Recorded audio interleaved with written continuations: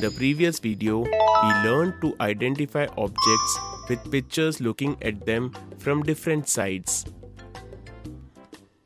In this video, we will learn some misconceptions about seeing objects from different sides. When Gaggu was teaching a lesson to Raju and Bablu, Meenu was watching them from a distance. Meenu decides to help Raju and Bablu. Meenu goes to Raju and Bablu and whispers in Raju's ears that she is going to show Gaggu that they are very smart. Kakuji, I will ask you two puzzles. If you can give me the correct answer, then Raju and Bablu will do 10 more sit-ups. Raju and Bablu were afraid that if Gaggu gave the correct answer, then what would happen to both of them? But they had no choice. Can you tell me the name of one object which is circle from the front view, top view and also side view? This is so easy. It is a tumbler. this is a wrong answer, Kakuji. A glass is a circle only in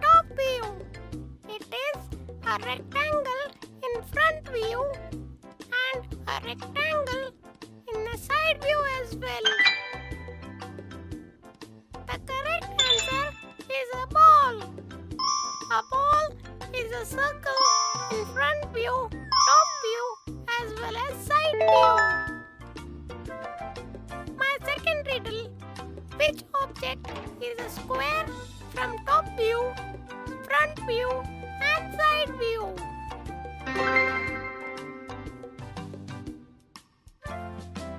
My good friend Apu's confectioner sweet box. This is a wrong answer. Sweet box is a square in top view. But in front view, it is a rectangle. And even in side view, it is a rectangle. Correct answer is a box of chalks. The box of chalks is a square in top view, front view, and side view. There are some objects whose shape from all directions, top view, front view, as well as from side view appear to be the same.